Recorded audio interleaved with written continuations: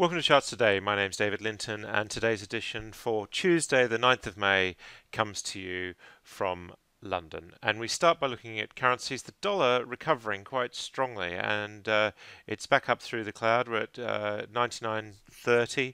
Uh, quite interesting after that French election result. This is almost a bit like a relief rally um, where the picture couldn't get much better. So the dollar just recovering, but no clear upside targets here on the chart. So that's quite key. Looking at the euro, we're seeing here that it's falling away. So of course the euro dollar is doing um, the reverse of that dollar index. Japanese yen, um, dollar is looking very strong here, so it's all about dollar strength at the moment. And sterling is just holding on to its position. So um, we've got a target here of 132.96, and this 132 target has been here for since January. So sterling just pushing for that. Um, but still quite a lot of downside targets there. Looking at the uh, Euro sterling rate, we see sterling's got the upper hand, euro falling away. Sterling Swiss again, euro has got the upper hand, increasing to 129 and the Aussie dollar really showing its weakness against sterling here at 176.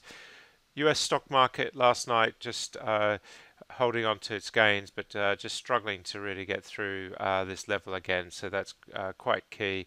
And the Nasdaq just um, fairly static as well. Dow Jones um, struggling to make new highs, and the same with the Russell 2000. It's just uh, holding on the US market's generally looking pretty strong medium to long term, just short term struggling to break through resistance. Uh, the futures this morning, we see the NASDAQ E mini um, just very slightly up, but no real heads up as to which way the market will open. The FTSE 100 index, um, we are bullish above the cloud, so bullish on all three time frames, and the 250, uh, we're seeing that as well. Uh, the DAX uh, also looking bullish above the cloud on all three time frames, and a new 6% upside target there in the short term. So um, the DAX really powering ahead. The Nikkei also was very bullish yesterday, um, and just uh, today's session holding on to those gains. So bullish on all three time frames, as is the Hang Seng bullish above the clouds, and the Shanghai index just still a bit worrying um, having fallen below the medium term chart. Just Chinese equities on the local market not looking so strong at all. Uh, the Indian market just holding on to its gains, looking strong in the medium and long term, but short term we're just uh, flat. And the Australian index just falling away a little bit there. Um, so Aussie dollar weakness just maybe having a little bit of an effect.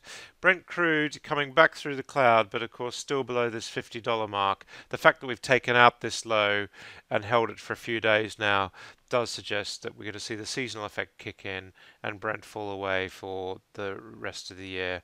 And WTI, much the same picture, just coming through on the cloud. We do have some upside targets here, um, so it might see we might see a little bit of recovery, but it's it's a fall away, a smaller uh, recovery, a bigger fall away, smaller recovery. So the down moves tend to be bigger than the up moves now on this chart. US nat gas just holding it around 320 seems to have been at 320 for quite some time now um, so that's quite key as well Gold uh, has really fallen and is just teetering along the bottom at these about 1230 level. So it'll be interesting to see if we can put in a recovery. We have activated this downside target now of 1146, so that is a little bit worrying on the short-term chart. So watch for any new targets developing there. And silver uh, looking similarly bearish, but no clear downside targets. US 10-year Treasury yields sitting at 2.4%, and uh, Apple um, we're seeing here um, is uh, bullish above the cloud. Google um, we're seeing much the same thing, just all the tech stocks holding onto their gains. Amazon had a strong day yesterday, just struggling to break uh, the high of last week. Facebook, again, much the same picture, but looking very bullish in the medium and long term. And Microsoft, again, we're seeing that upside. We do have downside targets being activated, but a big upside target here of 9%. Just tech stocks generally powering ahead. Key thing at the moment is just keep an eye on what this dollar does. That's it for today. Until tomorrow. Happy charting. See you then.